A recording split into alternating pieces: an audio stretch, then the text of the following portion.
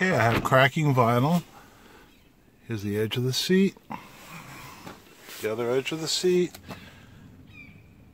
The base of the seat. The other side's cracking a little bit. Over here. And right along the front. That's pretty bad. Anyway, what I'm going to do is, let's go over here for a second. I'm going to try this. Let me go in the shade for a second. This is called Plastic Dip. I got this from Harbor Freight. And the color of this, of course, is black. And it's not yellow. And I'm going to see using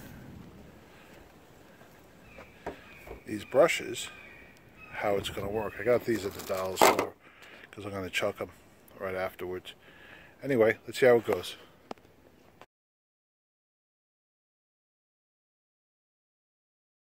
Okay, this is how the front came out. Still looks a little bit rough, but at least it's going to hold together a little bit.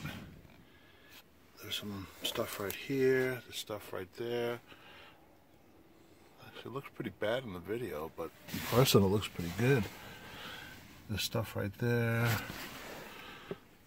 Stuff right there that was pretty bad. And then along the bolster over here,